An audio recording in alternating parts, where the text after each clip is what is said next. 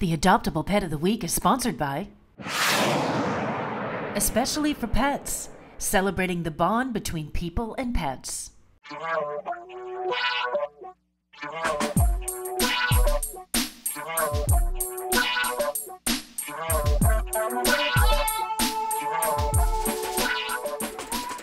The Lowell Humane Society on Broadway Street in Lowell has not only a wonderfully knowledgeable staff, but numerous volunteers who are dedicated at finding the pets their forever homes. This week, volunteer Roger Logaman introduced me to sweet and playful Fenway. Hi, this is uh, Fenway. He's a six-year-old uh, Patterdale Terrier.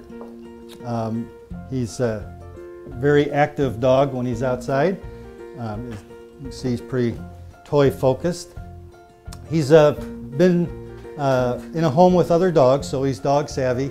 He would be fine with uh, a home that had uh, uh, older dog savvy kids. He's probably a little too active and when he gets wound up plays a little too rough for small children.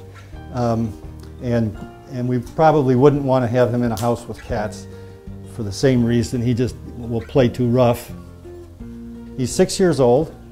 Um, and uh, I think the, the reason that he was surrendered was that the folks that had him were, were moving to a place that they couldn't have him anymore. He needs a little uh, leash training. He hasn't spent a lot of time on a leash, it would appear. He's getting better, but he still is uh, um, kind of all over the place when he's on a leash. Not uh, hard to handle, just very active and running around. Fenway has been at the shelter since mid October. To learn more, visit lowellhumanesociety.org or visit them at 951 Broadway Street in Lowell. Call 978 452 7781. For Westford Cat, I'm Patty Stalker.